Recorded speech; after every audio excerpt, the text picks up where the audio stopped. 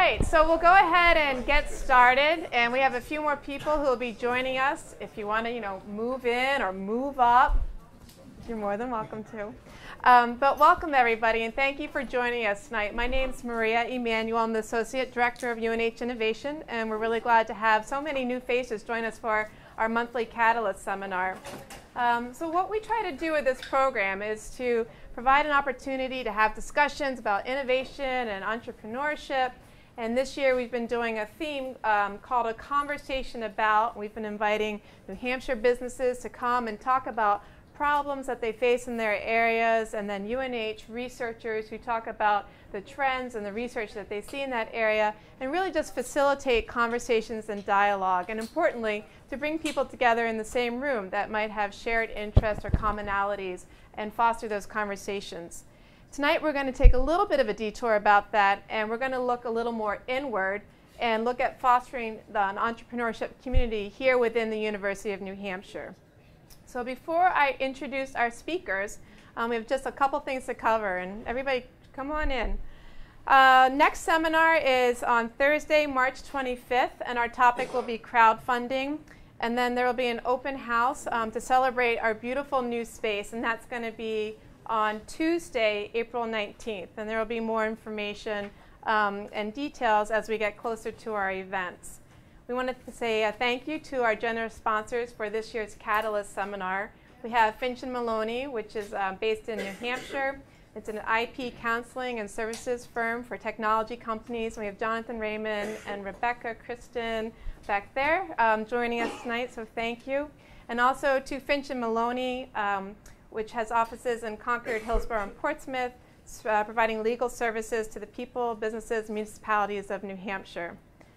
There's a networking session. You've already started it. We're going to continue it after um, the session. So we hope that you can stay and join us for that. And uh, please remember, you need to be 21 and older to um, enjoy the alcoholic beverages, but there's water for everybody otherwise. Um, also, we have some, um, some groovy t-shirts that are um, celebrating the new e-center that you'll be hearing about tonight. So if you haven't um, grabbed one, please feel free to take one on your way out. There'll be tables set up and sizes and um, gender-specific shirts and lots of, uh, lots of options. So hopefully we can find one for you. So that's all that I have for housekeeping. Where is Mark? Mark, you want to come up and share a few words, and after that we will go ahead and introduce our speakers. You should be mic'd. Unless you want me to stand right next to you, I'm going to give you the whole kit and caboodle. What I wanted to do, if we've not met before, I think I've met most of you, but if we haven't met, I'm Mark Sedam. I'm the Associate Vice Provost for Innovation and New Ventures. Um, what I wanted to do is take two minutes to frame this particular conversation. Um, the most common thing that I hear from people is, what exactly are you doing with all this stuff, right? So I wanted to give you a little bit of history, which will lay up into uh, Andrew and Ian's conversations. So when we started, or when I came here in 2010, the objective was I was not the vice provost for innovation and new ventures. Um, I was hired as the director of technology transfer. And the goal was to get more of the university's ideas protected, dealt with, and put out into the world. So, uh, with Maria's help, okay, fair, mostly Maria, um, you know, we really focused in on what do we need to do to try to commercialize more university technology. And so we've done that really well. Um, in 2010, when I joined, we did eight licenses. Last year, we did 350.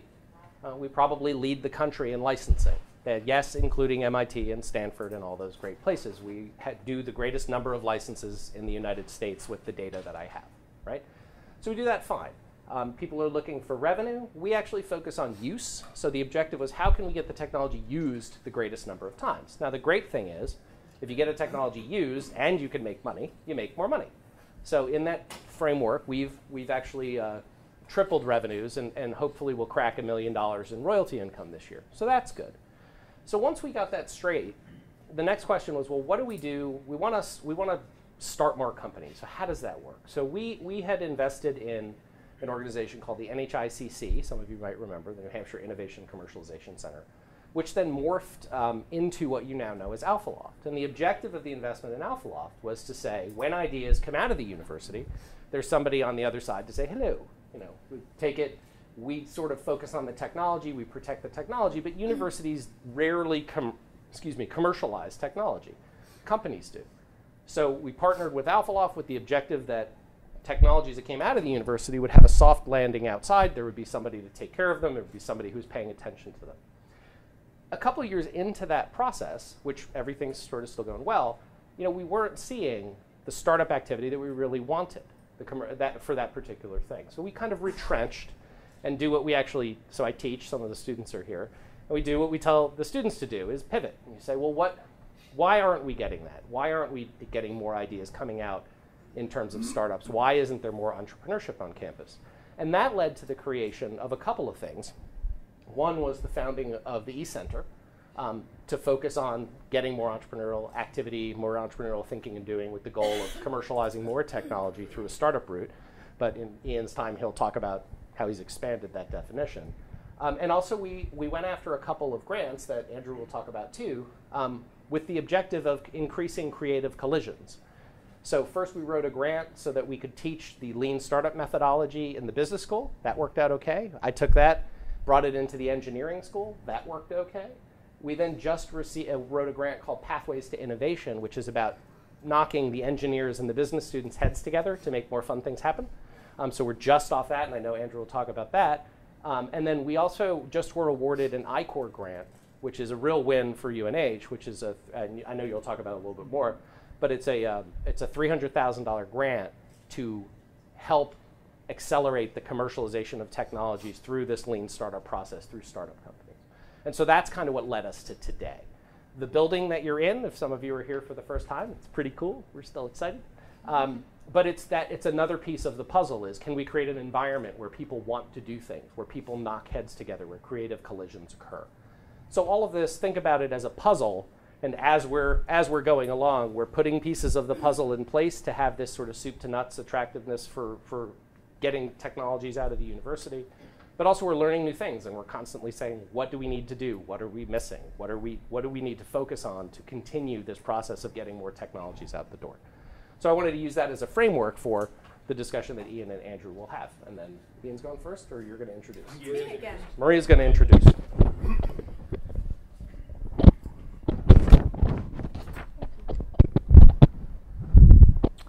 Okay, so with that introduction, let me take the next step, which is to tell you a little bit more about our speakers tonight. So, going in reverse order, because that's why I wrote my notes, we're going to start with Andrew. And Andrew um, Earle is an assistant professor of strategic management and entrepreneurship in the Paul College, our neighbor, sort of around the corner and joined UNH three years ago after spending a lifetime in the Pacific Northwest and probably appreciative of days like today um, in mid February. and he earned his MBA with uh, an entrepreneurship concentration and a PhD in management from the University of Oregon. So, Andrew's research um, grew out of a long held fascination the transformational power of new technologies. And he looks at new ways of understanding something that a lot of us think about how do technologies move from that initial um, invention to the marketable products? And he has areas of specialization and um, concepts that are cool, right? Just cool to many of us. And they intrigue and inspire us as well. Innovation oriented business strategy, technology entrepreneurship, organizational ambidexterity, and inter organizational networks. And so he focuses on disruptive innovations in fields like chemistry and energy, as well as other um, high potential fields. And like all engaging, enterprising entrepreneurs, Andrew teaches, Andrew does research. Um, you're an advisor to the Holloway Prize competition, um, the Entrepreneurship Club here at UNH, and Brew, New Hampshire, which I'm sure is completely academic in its focus too. You know, service to the community. You know, somebody's got to do it. So, I there we go. board member here actually too, so and then we also have Ian, who's the director, um, the first director of the Peter T. Paul Entrepreneurship Center. And Ian joined us just in November of the past year. And Ian comes with a history of significant startup and innovation experience. His first two companies were PlanetResume.com and Hot Chili Technology, and they were bootstrapped, merged, and acquired by a publicly traded group called Personnel Group in America. And for some reason, you vowed never to bootstrap another company, and I can't imagine why. So then his next company was VillageGenie.com, and this was venture backed. You listen to your own advice. And it's a, um, it built private labeled career centers for colleges and universities, acquired by a division of Global Fortune 500 Adecco. And um, interestingly, after that success, Ian, who makes vows, vowed never to have another venture capital backed company again. so I'm kind of curious what sweet spot you're looking at now, but maybe it's here. And so, from his entrepreneurial background, the concierge group of American Express recruited him to help um, in the innovation of new products and services for their Platinum and Black Centurion card members, which is um, quite interesting.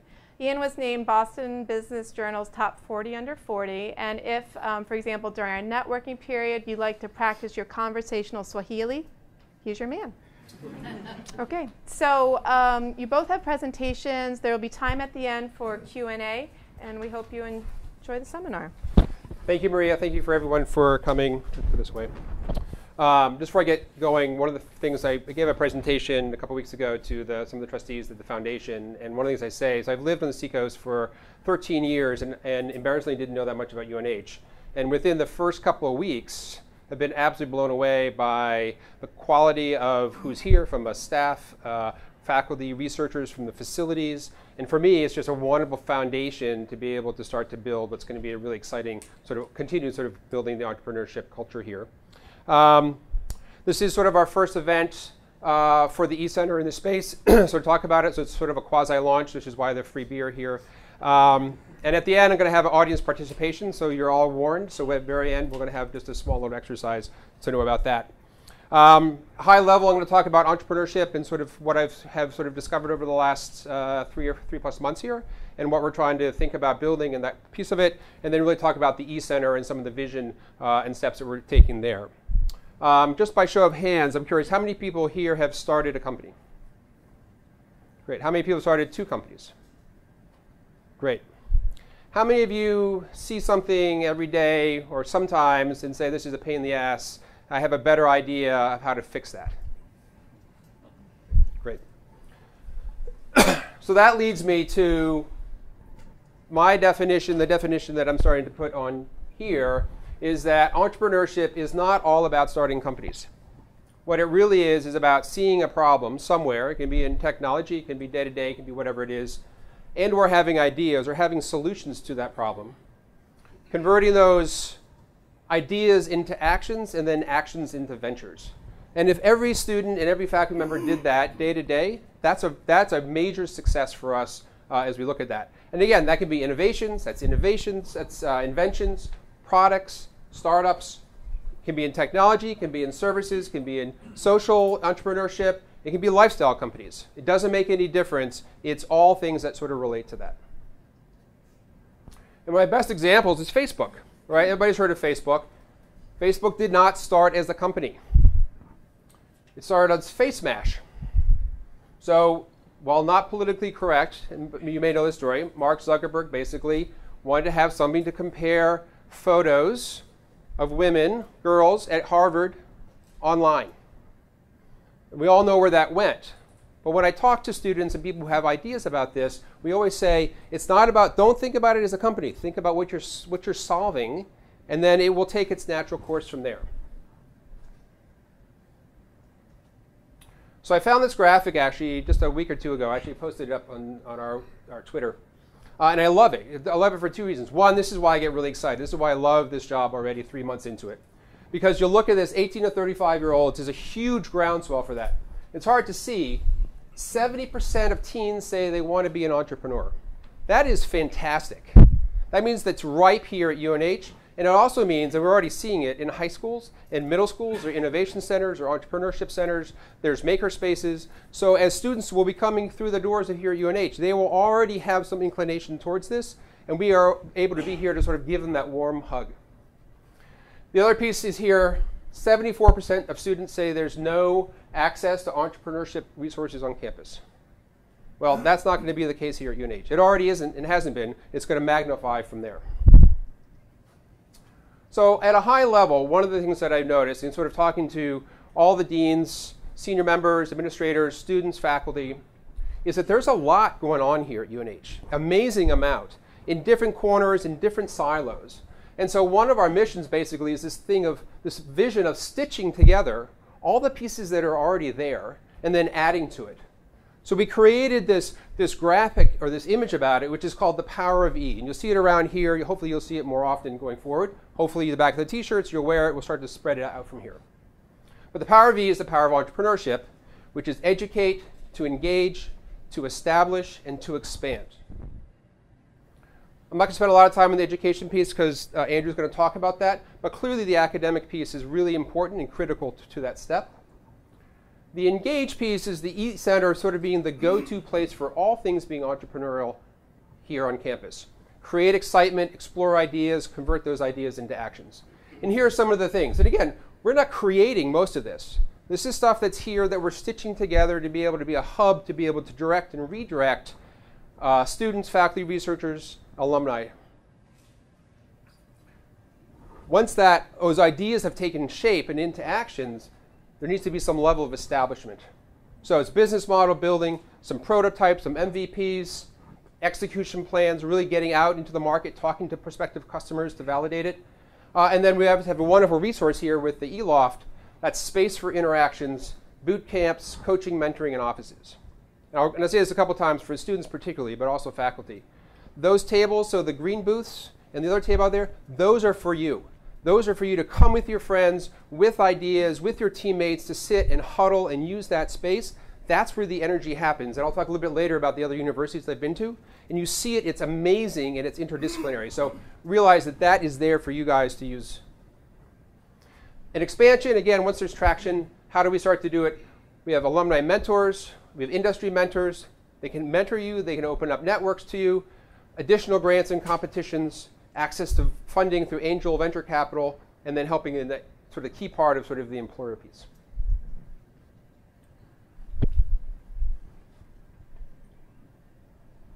Now just to talk a little bit about the e-center. Number one misconception, isn't the e-center part of Paul College? No, nope, nada, hapana, that's Swahili for no. We are in intentionally independent of any one college, and that's actually a really healthy thing. Because what we don't want is someone who's at the T school or CEPS or COLA or COLSA to feel like they don't want to walk in and maybe interact with MBAs. We want to be a neutral place, a safe place to come, that the natural energy happens, the collision happens internally here. And that's a really positive thing. So we're here really to serve all students, every corner of campus, faculty, and alumni. As I mentioned, we're going to be the go-to place for all things entrepreneurial. And we do that in two fashions. We have this amazing facility, and I'm really a beneficiary of only being in Gregg for a month before I got to move here. So this is really a luxury. Uh, as you may have seen coming in, so we have student clubs here.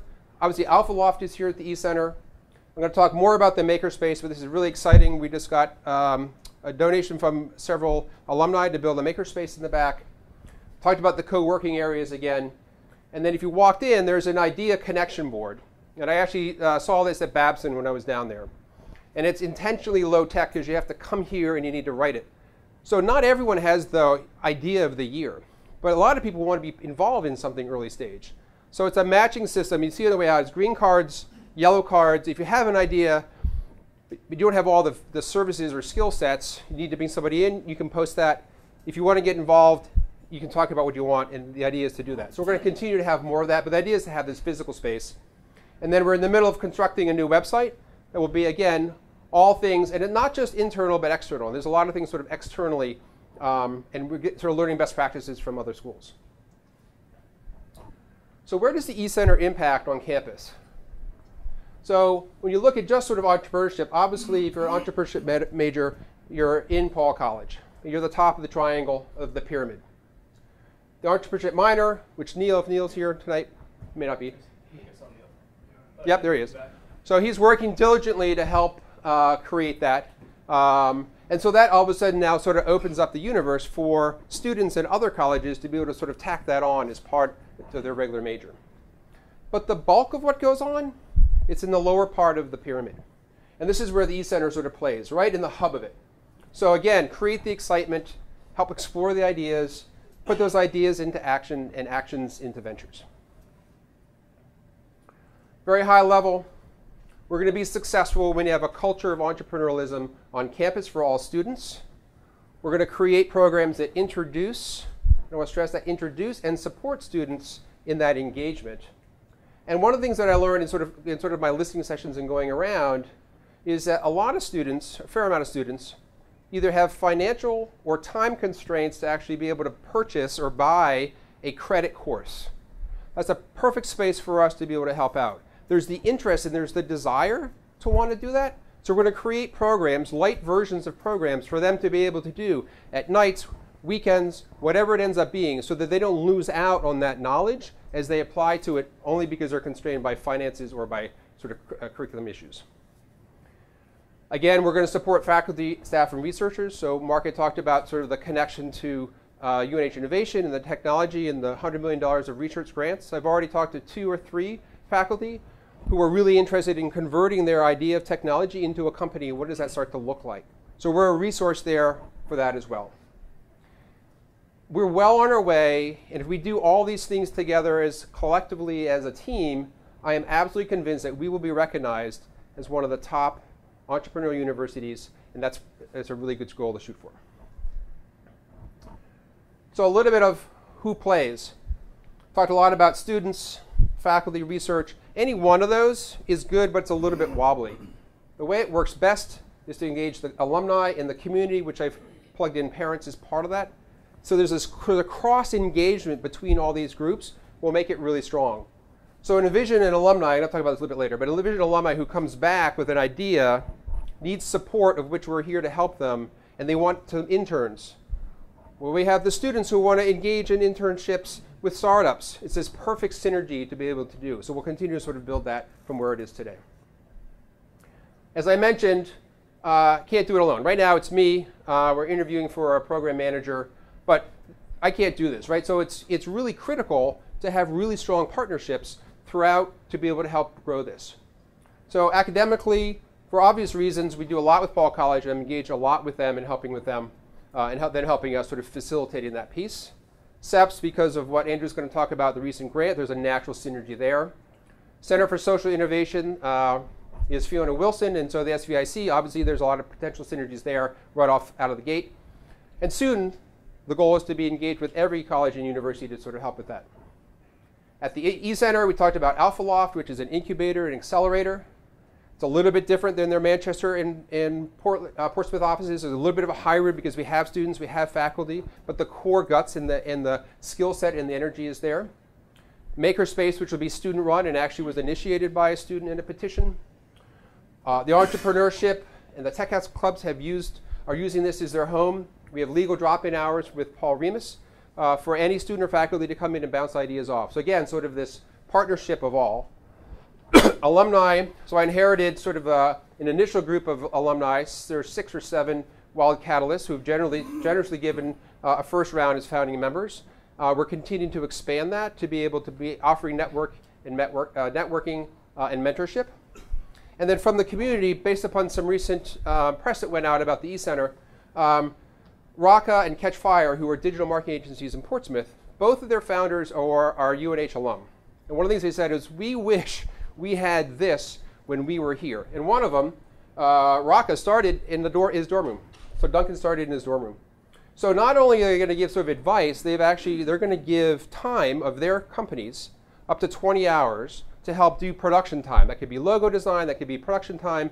So it's really exciting. Again, it starts as the word starts to get out, it starts to come together. You can sort of see that that synergy between it all some initial projects that we're doing. So in addition to sort of creating the awareness and, of the e-center and sort of entrepreneurship, um, this is the second year of the Summer Seed Grant that started at uh, sort of May of last year, or, or April, May of last year. Um, like all good startups, we learned from it. We made some modifications, enhanced it to roll it out again, and that's actually just went live today. So the focus on this is to really focus on early stage or ideas that students have. The problem is, with tuition what it is, most students don't have the luxury to do that over the summer. They have to get a summer job. So we're, we're taking two issues and we're combining it to say we solve it for you. So for $3,500 uh, per, per, student. It can be a team of three or three individuals, depending upon how it works out. They can work for nine weeks on their idea and startup. They'll be based here out of Alpha Loft and working with mentors and, and teams we bring in. And they get paid $3,500 so they don't have to find a summer job. So that's funded by the E-Center. It's funded by Wild Catalyst Network. Uh, and Kennebunk Savings, who's our new neighbor across the street, uh, is part of that process as well. So really exciting. So for your students, you'll see stuff. Hopefully you, your mailboxes were jammed uh, yesterday with some information. Uh, you'll see more and more and really encourage. The deadline of that's April 4th, so you have time. Um, but really exciting. We can talk about that after if anyone's interested. So this is very exciting. Uh, the makerspace uh, at the E-Center, which is 3D printers, laser cutters, scanner tools.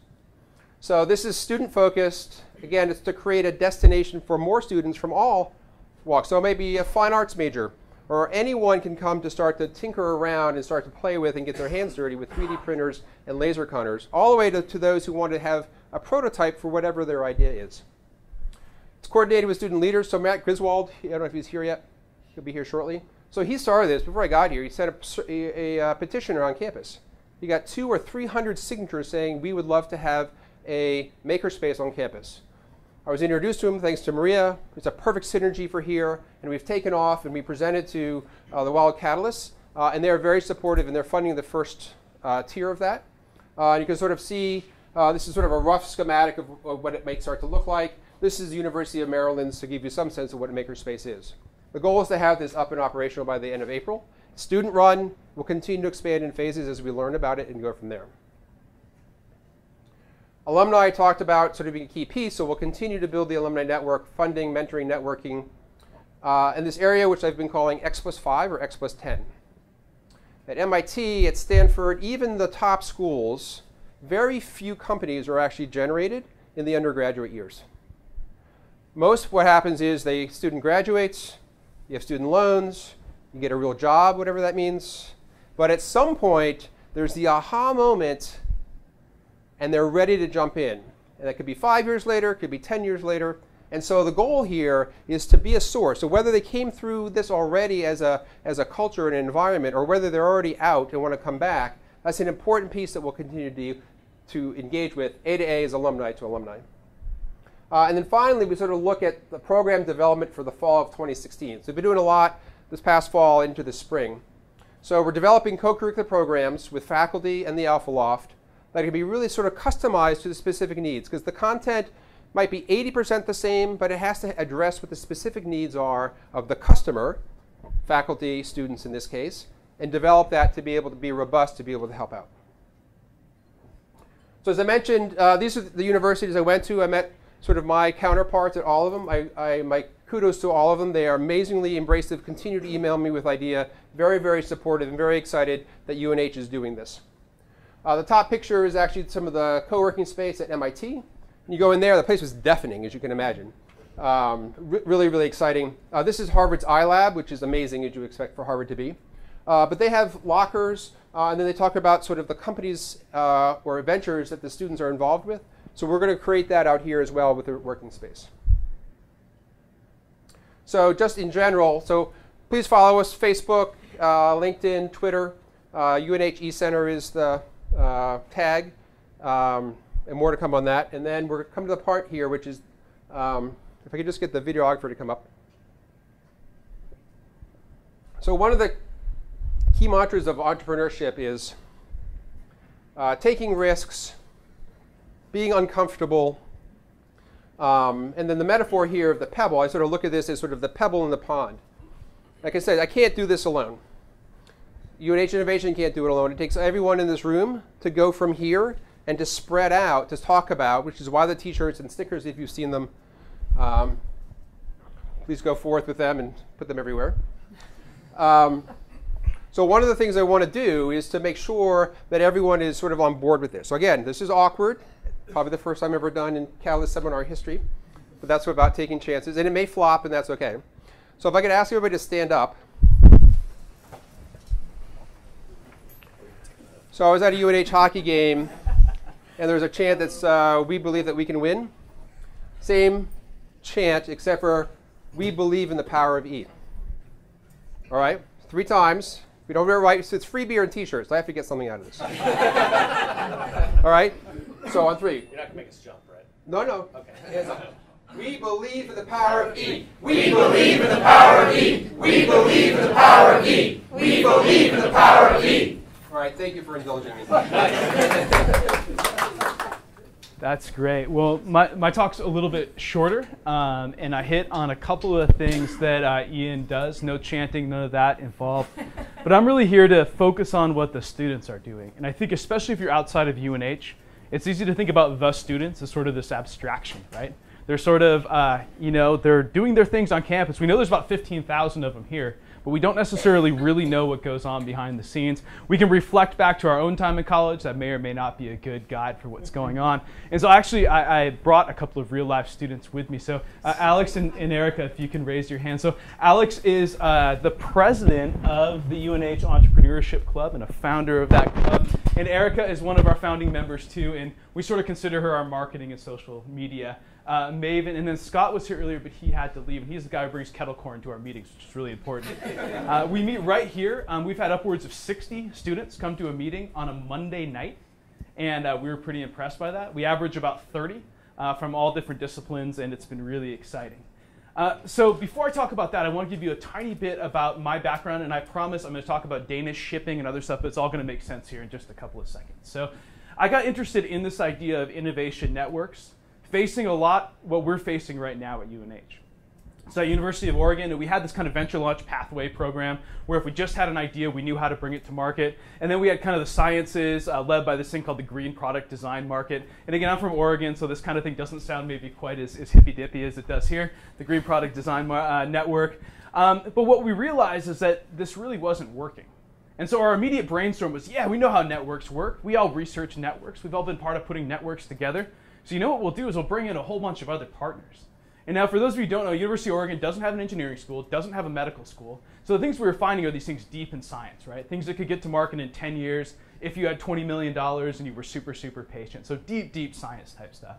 And so what we did is we went shopping for partners who would have good ideas that we could feed into this system. We even partnered with our rival school, Oregon State, big engineering school, kind of like UNH. Uh, which is a national laboratory dealing with uh, energy, it's National Energy Technology Laboratory. Um, we also worked with private companies like Microsoft. If you guys ever get into like Microsoft's back room, they have so much stuff sitting on the shelf that they just don't have the time or energy to focus on developing. It's not part of their core business, right? And so they let us kind of into their back room to see what they had to play with. It was really exciting. And then, of course, we worked with uh, some really kind of marquee national labs. Anybody who's been out to the Northwest knows Pacific Northwest National Lab, uh, Argonne National Laboratory, some others that are kind of these you know, major hubs in the uh, network of national laboratories. So this was great, but it actually produced a major problem. We had tons of ideas. We were flooded with ideas. All four of these organizations, as well as our own university, had ideas just coming out of their ears. And so we couldn't really handle all of that, right? Some of the stuff was going to the venture launch pathway, some was going to the green product design where nobody knew what was going on. And so we actually had to look internally and start actually strengthening our own network, and this is what we came up with. We said, hey, it's great to have all these ideas come in, but if there's no support to sending them out the other side, there's really no point in bringing in all the ideas. And this has worked uh, tremendously well for almost 10, 10 years now. And so this kind of jogged my fascination with networks in general. And not the idea that networks are important, everybody knows that, it's obvious. But how they can actually be intentionally designed to drive certain outcomes. And it's amazing. You go and talk to major companies. I was on the phone a couple of months ago now, about eight weeks ago, with a VP at Dow Chemical, and she did not really know what her organization's network was. I mean, they knew who their joint venture partners were, but who were their partners' partners, whether or not they were partners with each other, who their researchers were collaborating with, really no idea at all. And that's a big, sophisticated company, right, that cares a lot about this kind of stuff. And um, so, what we found actually by doing a lot of research on big, messy things like this is that um, it turns out not only do networks matter, but how they're structured matter, and you can structure them intentionally to drive certain outcomes. And so, this is an example of uh, some processes that we study here in chemistry. This is redesign uh, the synthesis for ibuprofen. Uh, it makes it about three to four times more efficient to produce. And the company that invented this new process also got a patent on something that had been off patent for about 30 years. So amazing, amazing competitive advantage. And again, we tested that in this kind of big, na- uh, nasty uh, uh, mess of collaborations in uh, chemicals and in pharmaceuticals. Uh, just as of Tuesday, actually, And I should have actually told Mike Merenda this because he's my, he's my boss. Uh, I got asked to uh, go to Denmark actually to help out with uh, a network that's being led by Man uh, Diesel and Turbo, which is the world's largest manufacturer of these like three-story diesel engines for ocean-going ships. And it turns out that they're actually really trying to be intentional about designing and having their network evolve to meet their needs to come up with the world's uh, next generation of cargo ships. So these things are amazing, right? I mean, triple the giant, half the footprint, six times less emissions so moving three times as much cargo with half the emissions. And they're working with uh, Maersk, who's one of the world's biggest shipbuilders and uh, shipping companies. And I'm really excited to be able to participate in this and actually do all this academic research stuff we do and actually make it real for real companies that are interested in it. So what this has to do with students, and I promise you that it does, is I started to think about sort of the ecosystem we have here as a network and what I would do if I were to think about designing the network. And so we have this great network, right? We call it the UNH Innovation Ecosystem. We have Mark and uh, Maria and Ian and others working on making this even more robust. But from the business school perspective, and I'm saying this from my perspective of what the business school perspective is. Mike, I'm not teach, talking for the entire business school. It's not policy of the business school. But none of this really, really matters if the students, especially the undergrad students, aren't involved. And that's probably not the same for the sciences and other things. But in Paul College, the vast, vast majority of students we have are undergraduate students. So if they're not figuring out some way to meaningfully plug into this, it's not that it doesn't matter overall, it just doesn't necessarily matter to me, honestly, in a lot of ways. So how can we actually do that? Well, it turns out that the students are there and they are interested. They're actually really, uh, really interested. So not only do we have students like this interdisciplinary team right here designed a new way to aim solar panels to make them 22% more efficient, same old solar panel, just a really smart way of aiming it that doesn't actually draw any of the electricity or anything from the panel itself.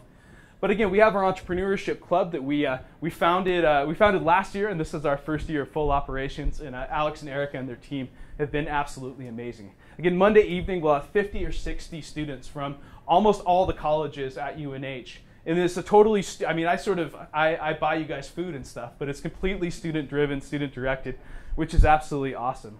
So to borrow a quote from, if you were grew up in the 1960s, you'll recognize this as being from The Who. If you grew up in the 1990s, you'll recognize the inverse of this is from The Offspring, is a band. Again, if you grew up in the 90s, see some, a couple smiles here, right? And that's in fact that the kids are absolutely all right. And what made me think about this actually is I was uh, sharing a ride to an airport with somebody who was about my mom's age and was just sure that everything was going to hell in the handbasket because the millennials couldn't do anything, right? And uh, I'm six days too old to be a millennial, so I can talk about millennials as others, right? It's, it's kind of fun. Uh, but I found, myself, I found myself talking to this woman and explaining to her this very thing that the world actually, that the kids actually are all right and they're doing amazing things. And all they need is a little bit of a support from folks like uh, Mark and Ian and, and Mike and Neil and other people um, who kind of have check writing authority to buy some pizza or some, some Thai food, which is our go to, right? For we have gluten free members in our club. Uh, but everything is is really good, and there's a tremendous amount of energy on campus around entrepreneurship. So, really fast, a couple of the drivers I see a lot of interest in general. The idea that you talk to one another about your startups is something that's becoming to be uh, starting to be the norm here, which is really exciting. Um, a lot of people list role models, people like Elon Musk and others, right? That's who they look up to. Uh, growing institutional support, we're working on that, and a lot of community support. But there certainly are some barriers as well. Time is a big one and actually really mean that. And anybody who doesn't think that our students are pressed for time, try to follow them around for a week and see how you feel at the end of it. And Jake Chauvin's here too. You realize it too. He's one of the founders of the club. Sorry, Jake, didn't see you there. And so I do a survey every semester with all my students. And as it turns out, the 43 students I had in my business strategy class uh, last semester, um, 32 of them had part or full time jobs. Another eight were intercollegiate athletes on our hockey and volleyball team. Most of those jobs, they work between 20 and 40 hours a week at those jobs.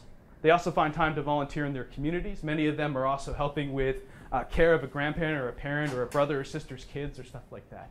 So time absolutely is a constraint. Because they're in class 16 hours a week doesn't mean they spend the rest of it. Well, some may spend the rest of it, you know, drinking beer at Libby's or something. But in general, they're not doing that, right? But time really is a, uh, a constraint. Uh, guidance, I think we do our best, but I think that stat that Ian cited about people don't know that there's resources uh, available. Um, this is something that I think is really interesting. The third point, again, being a, uh, somebody who relocated here from the West Coast, uh, the way we treat failure, right? And again, you go down to San Francisco, you go to Seattle and other places, and people have failure parties. They share their failure stories. But here I found that students, and I'm not sure if it's totally a regional thing, a generational thing, what exactly it is, still fear failure. And one of the best ways not to fail is not to try something difficult, right? Which is sort of anathema to entrepreneurship. Uh, Ian covered this over, over focus on startups. Uh, this last point, I think, is, or second to last, I think, is, is really important too, is if I'm an entrepreneurship major, what job do I apply for? So, Seth, let's say I'm going to apply for a job in your shop and I'm an entrepreneurship major. Knowing Seth, you would probably look on, upon that pretty favorably, but I would be worried that you wouldn't, right? So I'll major in finance or whatever, which is great, which is great. But it's sort of the what do I do with it if I don't start my own company? And of course, we're working on this right here with kind of a disjointed curriculum. I think we could do a little bit more to provide more of a, a pathway uh, through uh, at least the Paul College curriculum. Uh, this is really interesting. I'm not seeing a lot of necessity driving entrepreneurship at all in the current job market. I had a student who had to run out today because he had three different job offers and he had calls with the three different people that he was negotiating with to try to get the best possible offer. So, uh, for those of us who graduated, had a talent of graduating into terrible job markets, that's not the case at all. So, students have a lot of these kind of traditional options, which again could be a good thing in the X plus 5, X plus 10 sort of uh, framework. So, a couple of more things is there are a lot of great events going on on campus, a lot of great student led initiatives, right? Or student focused initiatives. There's Neil's Fire program, there's UNH uh, Net Impact, is the Entrepreneurship Club that we mentioned. Uh, the country's, I think, second or third, um, maybe even been the first. Mark, do you know the Ryan's Angel Fund? I think it was the first. Maybe it's the first student run angel investment fund. Uh, which is pretty exciting. That's that up in the corner. They don't have a logo yet because they're so new. So all I could get was the Twitter uh, Twitter clip, right? And then we have these formal events, right? One of our marquee ones that um, Mike has been the, uh, the godfather of, I think it's fair to say, run it for 28 years, right? Um, which is uh, the Paul J. Holloway Prize Innovation to Market Competition, the much newer but still engaging social venture innovation challenge, which we have the winner of here, Matt. Is that right? Yeah. yeah, Matt's the winner from this year's challenge, which is pretty exciting. And then we're working on doing more and more of sending our uh, students out to all of these external uh, competitions, which is really uh, exciting. But we can do all this stuff, great building blocks in place, but again, unless we get broader and deeper involvement from the students, uh, none of this really works uh, particularly well. Uh, so, a quick thing on grants, and if you have any interest in grants uh, over a beer later, I'm happy to talk about these uh, in detail. Um, this is the one that was originally mentioned, Pathways to Innovation, which is really about getting engineers and, and, business students to work together. And then, really recently, and again, this is a big honor, is an I-Corps grant that Mark and I are, are the PIs on, which is really exciting. So, this map hasn't been updated, but right now in New England, the only schools that have um, I-Corps grants are uh, Dartmouth, UConn, Yale, MIT, and us. It's pretty exciting stuff. Pretty good club, I think, to be a part of. And so, circling all the way back to this idea about whether or not we can design a network to do what we want it to do, it's something that's not only of interest to corporations, it's important for what we do here on campus, uh, but now it's getting a lot of institutional support and financial support from entities like uh, the NSF. Um, so I've had some jobs in sales in the past, and so I never want to leave kind of a presentation without asking you to do something, and it doesn't involve cheering at all. Um, but if you look at all the students we have, they're all kind of sitting in the back, uh, more or less, the back uh, third of the room. Some things you can actually do to help us, the business professionals in the room or community members in the room, is help us make that employment case that these skills that we're teaching and these experiences that we're trying to foster are actually critical for employment. That you want to see people with these skills walking into your office and interviewing uh, for jobs. That's a really powerful motivator, and understandably so. Uh, bring us some problems to work on. Uh, I say this especially of the Paul College students. They're really great problem solvers, but sometimes focusing in on the problem can be the tough part. So if you have something in your business that's not quite working right, um, bring it to us and see if we can help you out, right? Not a lot to lose. Uh, definitely share your failures. Um, know that, you know, have people know that failures are totally normal and natural part of, of taking calculated risk and being an entrepreneur invite us in to see what your innovation process looks like. I've been a part of these in companies, both as a consultant and companies that I've worked for, and, and it's messy, it's confusing. Nobody really knows what they're doing. There's experimenting and there's arguing and there's you know, minimally viable products that quite literally explode, at least in the case of chemistry labs that I've been in, right? So show us that process, and I think that will be emboldening for students to see that it's not this linear, easy thing, even for people with a lot of resources, a lot of experience. And then I would actually love to hear any other ideas uh, that you have uh, over a beer, um, which I really need because my throat's getting really dry. and uh, as somebody, again, from, from Oregon who's on the Brew New Hampshire board, in an evening time like this, it's tough to avoid uh, running out for one of those. So that's all I had. and I'd be uh, super happy um, to talk with you afterwards. And I also encourage you to talk to our students that are, are here. I think you'll be amazed by the drive that they have, the uh, kind of entrepreneurial spirit that they have, and um, you know all of the wonderful things that they're doing uh, here at UNH. And there's a whole bunch. It seems to be like filling in as I speak in the back. So um, that's all I have, and thank you for thank you for thank you for listening.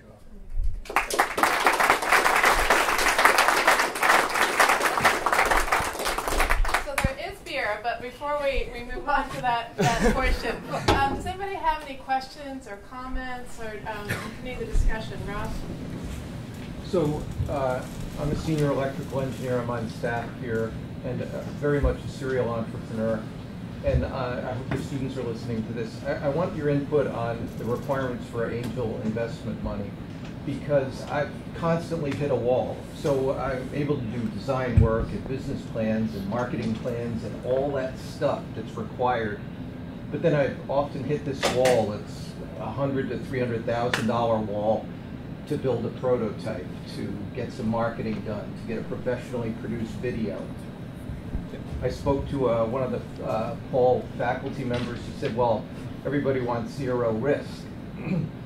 so we want, you know, even to just get a few hundred thousand dollars, you know, we want to see the product, who your customer is. We want customers lined up at the door. In a perfect world, I guess, but what are they looking for? Sure, that's, it's a good question. I think every entrepreneur hits that. Um, I'm going to actually defer to Mark Kaplan if he's in the back. He's in the trenches every day with this. Uh, and I think, Mark, if you, if you can answer that question, that'd be great. You got it exactly right. That's exactly what they want. They want it all. So, you know, it's it's a problem. I mean, I think the the a lot of times it's how do you make the compelling case for for what you're presenting. Um, you know, we are here in New England. We have a certain mindset about risk. Um, it's different in other parts of the country. Um, so it's not easy. It's not easy to get angel money. It's not easy to get venture money. There are we're I'm involved with uh, Live Free and Start. It's a state initiative. One of the things we're working on is trying to increase capital access throughout the state. You know, for situations like this and many others that are out there. Uh, but you know, traction is important. That's hard to do in a situation like you're talking about because you can't even get a prototype built. Um, you know, it's friends and family. It's all of the things that require you know a lot of risk in before you're going to get outside money coming in most of the time. The angel groups are getting more active, though. That's that's a good thing. If anyone's not familiar with it, with it I would recommend Crunchbase if you haven't Yep. seen that website. There's a number of platforms. Crunchbase, AngelList is another one that uh, people actually make investments through. So. Everyone must be really thirsty. Yep. Josh? Uh, Joshua from Alpha Loft. I'll just make uh, a quick shout out for. I know I've talked to a few students here, and I bet there's a number more that are planning on uh, uh, applying to Holloway. And just want to let you know that uh, we're doing workshops, um, sort of throughout the whole program, uh, for for you to have a better outcome for going through the Holloway process. So uh, make sure to you know utilize the resources that are available here. We're here, here to help you. I think that's a constant theme is to, and it's part of this event, is to rec- recognize. Again, it's I, you know sort of made light of it, but it's a bit of the pebble putting it out. Like it starts with you to tell the other 14,950 students that aren't here that we're here as a resource, and there are a lot of really talented people within the confines of this building as we continue to expand with alumni that are here to serve you, to help you, and help's okay. Like I can tell you that in all my startups, I had mentors, I had network capability, I had, I had a de facto board through this thing called YEO, which is Young Entrepreneurs Organization, that, that bounced ideas, that went through similar experiences. It's is there's no bravado to do it alone. Like you have to do it together with people. So I encourage you to leverage everyone and everything that's here for your benefit. I wanted to introduce- the group too to a couple of more people in the back. Elise Goodman and Chris King came a little bit late. Uh, they're part of what I think is a really interesting group of students. It's actually doing an independent study that's based purely on launching their own company. So that's one of the ways that we're trying to address, and with the support of, of Mike and with Neil and others, uh, to try to address that trade-off between tuition and credits and the time to work on your own business. That we're saying, hey, you know, you don't have to try to start this in your spare time on top of your part-time job and your full-time work at school. We're going to actually give you uh, some independent study credit if you if you hit these milestones and you go toward launching your own business. And they're part of the first group of 13 students who has agreed to go on this. Uh, what I think is kind of a fun journey so far. I don't know what you guys think, but uh, definitely talk to them about that program. And I'm really glad that they took the risk to do something uh, really completely completely new around entrepreneurship. And I think it's turning out really well. Um, although we're what five weeks into it, so we'll see, right? Any other any other questions? We can continue this out in the other room as well. Yeah. What's the, they're five weeks into it, what's the, uh, what's the sum and essence of the business that they're, uh, they're embarking on? You guys want to share? Yeah, what was your question? He wants to know about your about your business. Go, Um, go ahead. Elevator pitch, go. So I've always been uh, incredibly interested in designing clothing. I don't know why. Not a lot, not a large margin industry, um, but uh, I, I grew up in North Conway, New Hampshire, where uh, the same Tuckerman's Brewery um, exists, and uh, me and my friends used to do the presidential traverse, the 20 mile hike down from the south side over Washington and down to Clay. Um, and uh, we used to think that it would be incredible to have like a leadership training thing while it was happening, peak by peak. So like through every peak of every mountain through the traverse, uh, you would talk about something that would be beneficial to your life in the future.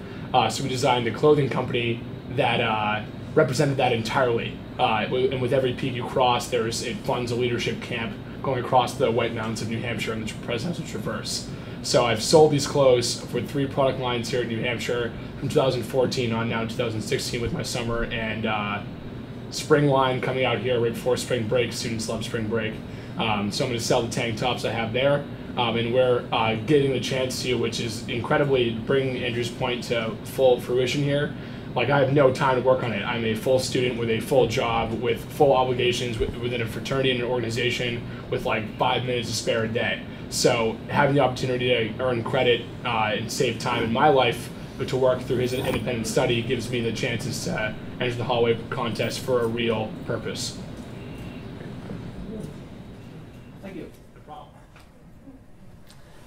Well, if you can, um, please help me um, thank our speakers for such a great evening.